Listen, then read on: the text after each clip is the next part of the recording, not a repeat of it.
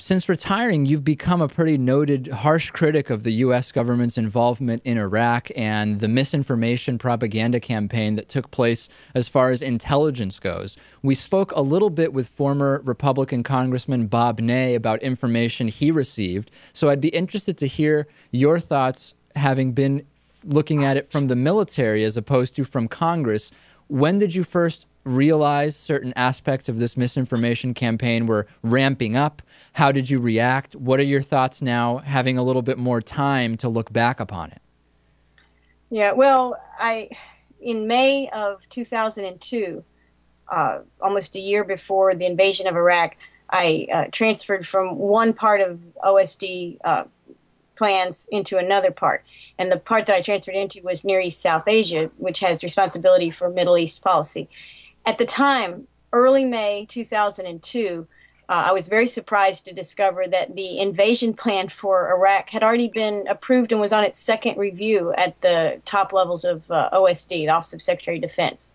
So we hadn't even begun in, in mainstream United States, uh, the media had not yet really ramped up the propaganda campaign, which of course emanated uh, in large part from the Pentagon and from Dick Cheney's office, from, from the executive level we hadn't begun to talk the people into war, and yet we were already uh, finalizing in many ways this invasion plan. I thought that was was kind of strange. And then, of course, uh, by the end of the the summer and throughout the fall, the propaganda that I was seeing in the New York Times, on CNN, on Fox News, anywhere that government people were speaking about what was going on, I noticed that um, two things. One, much of what they were saying was not supported by intelligence that we were seeing.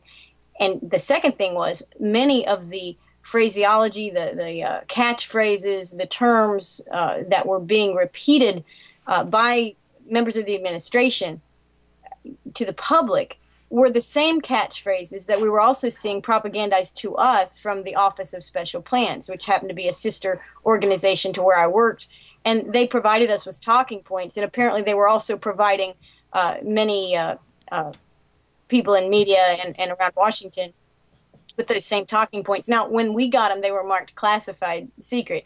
But when I read them in the New York Times, apparently they were cleared. Let, us break that apart because there's so many interesting things yeah, in there.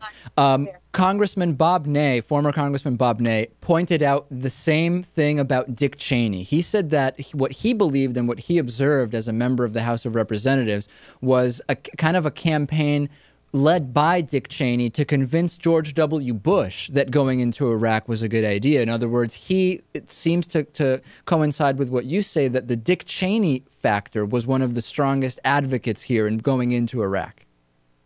Well, clearly uh, it was, and and another uh, thing that happened in the summer of 2002, uh, our staff meeting with Near East South Asia folks getting together talking about things. Uh, the word scooter was uh, passed around. We need to get this to Scooter. Scooter needs to get this faxed right away this afternoon. And I thought Scooter was a, a general. Oftentimes they have nicknames, and it turns out it was it was Scooter Libby, uh, Dick Cheney's chief of staff. And we, at the level we were at at the Pentagon, three layers uh, below uh, Rumsfeld, we would never have had direct dealings uh, of that nature with uh, Dick Cheney's office. But in fact, we did. And my boss at NESA, Near East South Asia, uh, had been assigned over there from Dick Cheney's staff, where he had worked for Cheney uh, before he came to the Pentagon. So this network of associates with an agenda, certainly uh, Dick Cheney is a major part of that. But I would take issue with the fact that Dick Cheney had to work really hard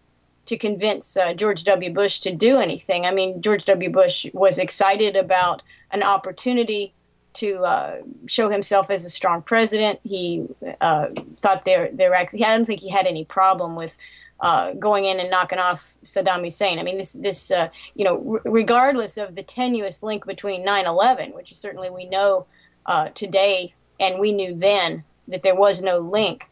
Um, I don't really want to say that Dick Cheney was calling all the shots here. Uh, the president may have been an easy mark but he was he uh, was very interested in in uh, pursuing this line of action. I don't think Cheney had to argue with him too much. You started receiving information which looked to be almost like a propaganda campaign directed first at you and the people you worked with, kind of as a is a preliminary to starting the propaganda campaign for the American people, or simultaneous? Sim- simultaneously, it, it was, and uh, Near East South Asia was a single office over the summer of 2002, a lot of political appointees, uh, 15 to 17 political appointees, and a few military people uh, and some professional civilians were brought into our office as additional people. We were kind of hot desk, hot desking it, I guess you could say. We were told that they would be producing all of the talking points on three subjects um, Iraq, terrorism, and weapons of mass destruction. When we put together papers, which is what we did there, put together papers for the higher ups, uh, policy papers, uh, and, and, you know summaries of intelligence, that kind of thing. When we did that, if we had anything to say about um, Iraq, WMD, or terrorism, uh, we would not say it by looking. We would not extract it from the intelligence. We would not review the latest stuff. We would simply place a phone call to the Office of Special Plans, and within a day or two, these talking points would be, and we were directed they would be included in their entirety without modification uh, and no deletions. All of that would go into all of our our our, uh, our papers that we were putting together. We looked at what they were saying and noticed that it was very um, propagandistic. It did not match the intelligence. There were leaps of faith made. There were assumptions made and presented as if they were true. So th- we're talking 2002. I'm curious yes. if you have any reason to believe, any evidence that there was actually a discussion of Iraq that predated 9/11. In other words, many have the theory that really there was a, a the idea and the goal of going into Iraq. 9/11 created a convenient kind of a, a straw man argument to go in there, but that the plans predated 9/11. Do you can you speak to that at all?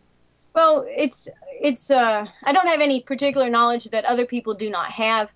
Uh, you know, we had the uh, Project for New American Century had long talked about and had advocated, I think, under uh, had had pushed Clinton for many years to uh, attack Iraq to take out Saddam Hussein. In fact, in 1998, after the Monica Lewinsky scandal, you know, we we did uh, I forget the name of that operation, but we spent a week or so uh, bombing Iraq. And this was something that was cheered by the neoconservatives at that time. This is long before uh, George W. Bush is, is really anywhere close to being uh, the president. I think the other public evidence that we all have, and I'm not particularly privy to it, is um, George Bush's own statements um, and writings after he left office, where um, and and what people have written about uh, his own uh, other people's memoirs, where Bush uh, Jr. or Bush 43 was very interested in uh, maybe completing what his father had not done in some way in 1991, and and certainly he's being egged on a great deal by the neoconservatives who were who were lobbying uh, Clinton as well to do this under Clinton's presidency. And there is no doubt, of course, that the events of 9/11 uh, you know, I mean, Rumsfeld's running around uh, less than a day afterwards saying, dig up stuff on Iraq because this, this may be the opportunity. Well, the opportunity is for something that many people had been speaking of publicly for many years. So that's, that's not really secret. Um, that we would go as far as we did to lie and to falsify information that's put out to the American people, trying to link Saddam Hussein to 9 11 and trying to link Saddam Hussein to Al Qaeda. Both of those linkages were fabricated, they did not exist. They uh, logically would never have existed. Uh, you know, here we have Saddam Hussein as a secular person. He, he was enemy number two behind the United States of, of uh, the Al Qaeda leader. We just have about a minute left, and I'm curious to get your thoughts on, other than Iraq, when you look back at 9 11, uh, what's your biggest concern or what stands out most glaringly, glaringly to you that was done under the guise of being a response to or logical sequence from 9 11? In other words, Patriot Act, surveillance and wiretapping type stuff, um, other Middle East policy. I mean, what comes up for you that's most concerning where 9 11 was used in a misinformation campaign? You named a couple of them, but I think for me, given my uh, focus uh, to some extent on the foreign, the overseas policy, military type stuff, I was very surprised that from the beginning we intended to construct permanent military bases in Afghanistan. Um, that we would really uh, move forward in setting up a puppet leader who is still in place today, uh, Hamid Karzai, and building military bases uh, which are strategically located to secure and help secure uh, pipelines. That that you know this sounds like a very um, you know economic trade oriented type of thing, and yet uh, here we use 9/11 to occupy and, and build what we wanted to build in a permanent sense in Afghanistan. And I think uh, you know what we're hearing 2024 we won't leave Afghanistan, and I think that was very much uh, envisioned by the people that used 9/11 as a uh, mechanism to get some of the um, uh, militaristic foreign policies that they wanted. So that surprised me. I did not. I have to admit, I did not see uh, uh, the Patriot Act coming, and I think most of the people in Congress who who voted for it did not see it coming. I know for a fact they did not read it. So uh, you know, it's it's uh, it's an ugly, ugly thing.